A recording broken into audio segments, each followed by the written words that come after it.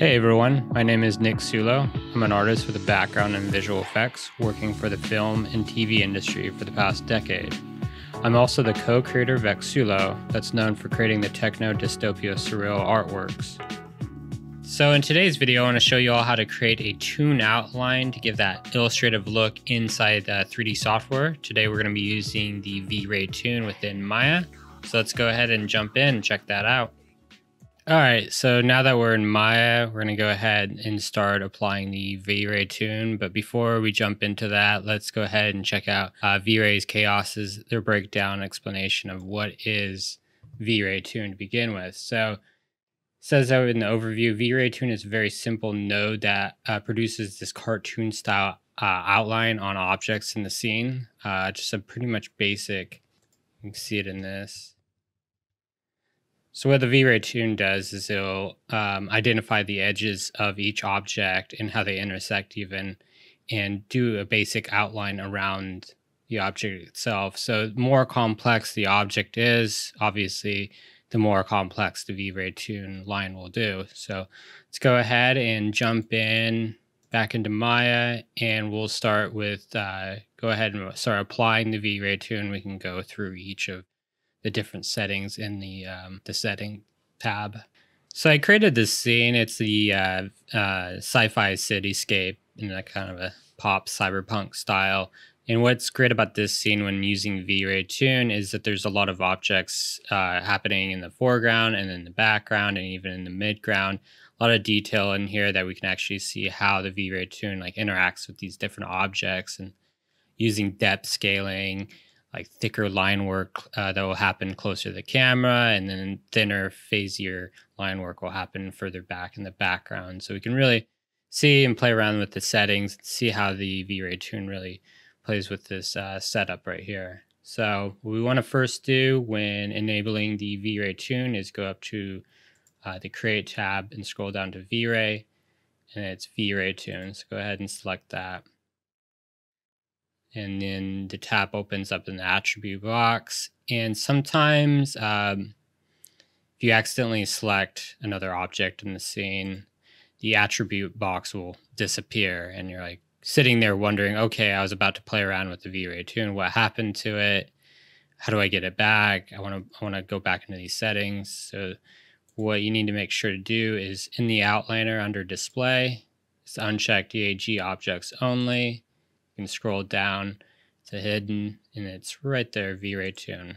So make sure to have that unchecked to be able to go back into the attribute into the V-Ray toon and play around with these settings.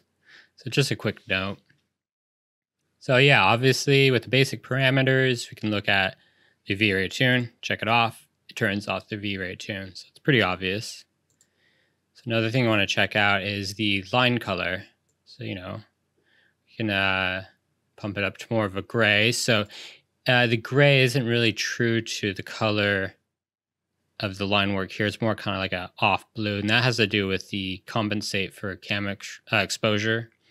And if we check that on, it'll actually mimic the actual color of this line color that we're selecting.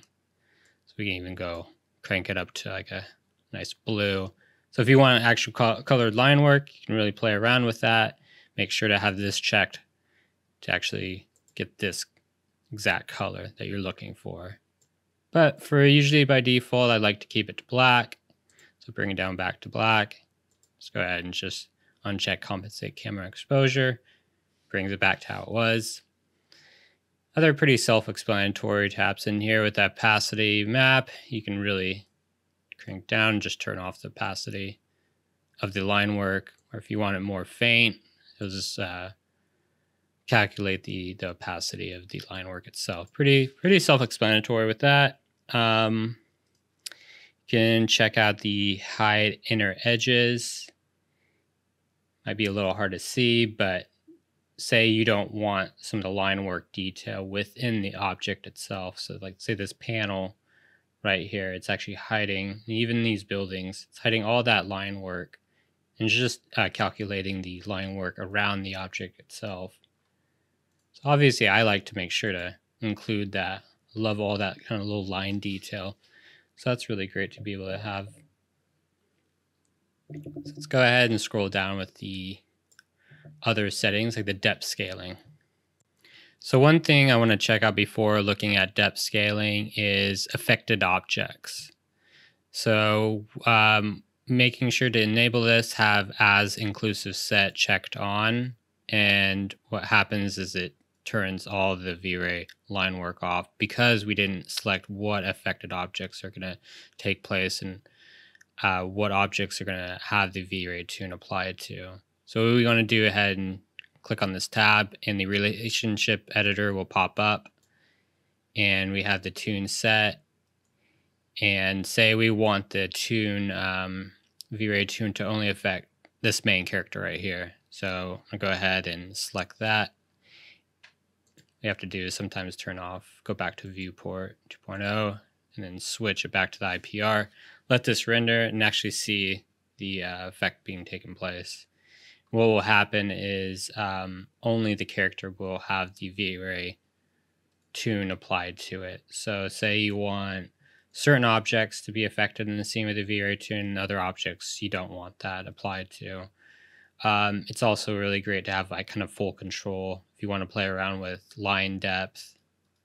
So like say this character selected and then you can go up and play with the line width and set that to like two. You can already see that the line depth is a lot more thicker and then um, you can even select different objects and apply the same setting to that too as well.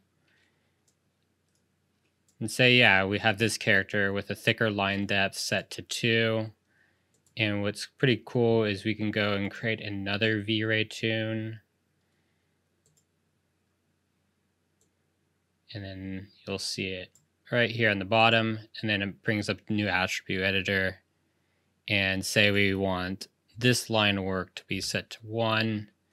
So you can see the first V-Ray toon has the line depth of the, I think it was set to 2, and then the newer one set to 1. So you can see actually the difference of the line depth. So thicker line, say we want to have for the main subject in the scene, so it will be applied to him only. And then um, you can even go in back in here and select the objects in which we want.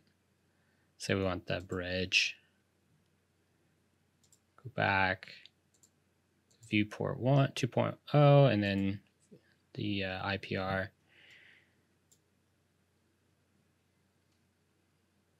Go ahead and let this render.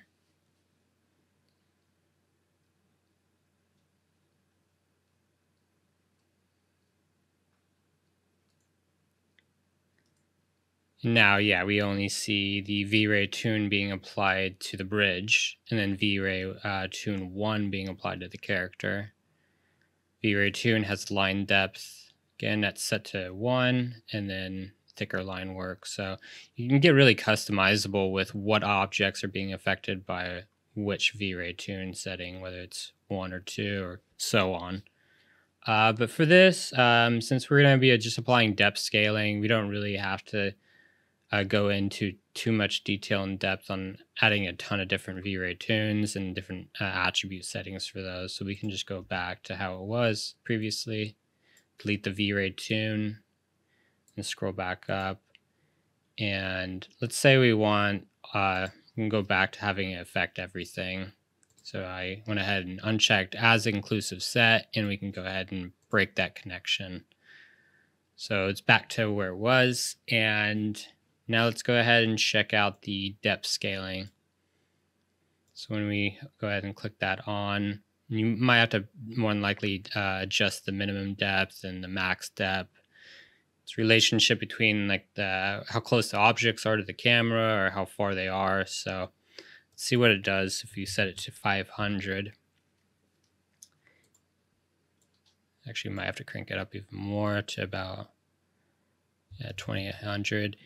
And you can already see that the line depth is already being applied to the objects that are closer to the camera. And the further back it goes, the line work will start to kind of fade away and become a lot more thinner. So it really does add more depth and dimension to the line work itself and just adds that nice extra detail because if you have your line depth set without any uh, scaling to it it's all going to be the same um, width so objects in the further background they're going to appear to be a lot more bolder than they really should be and you kind of lose a little bit of that nice detail in the object so it's nice to be able to apply the depth scaling, and really start cranking it up from 2000 to see what happens if we bring it up to 4000. Might start seeing the objects and even the further background getting filled up with line work. So let's try. Yeah, so set to uh, 10K, you start to see some thin line work happening in these objects in the background. So to be able to apply this as a um, render element, let's go ahead and set that up. So yeah, just make sure we're under the render elements and then have toon selected and we can add that under the uh, render elements and we can also add in some other layers as well. So say we want let's go up to diffuse, set a diffuse pass as well. And then a render ID. And then with the V-Ray toon selected, there's some extra attributes that we can check out eventually, but let's go ahead and render this.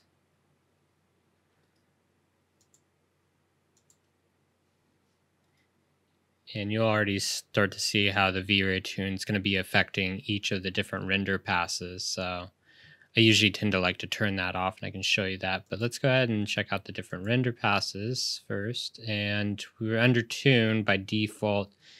It will uh, have a black background and then kind of this off-white bluish uh, tone to the to the line work. So say we don't want our toon um, layer to look like this, maybe more of a white background and a black line work that we can actually kind of draw an alpha channel out of when we drop this into Photoshop. So go ahead and do is go back to the render elements, make sure you have V-Ray toon selected, and under the V-Ray toon, extra V-Ray attributes, do it, go ahead is invert the colors, check out off apply color mapping and deep output.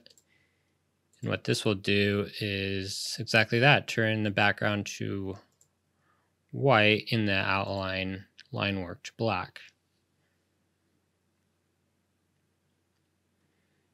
So as mentioned, it'll be easier when we drop this into Photoshop to be able to pull out a nice illuminance out of that. So yeah, now we have uh, toon render element looking pretty good. This is a nice setup like that. And you can start seeing the different uh, depth scaling.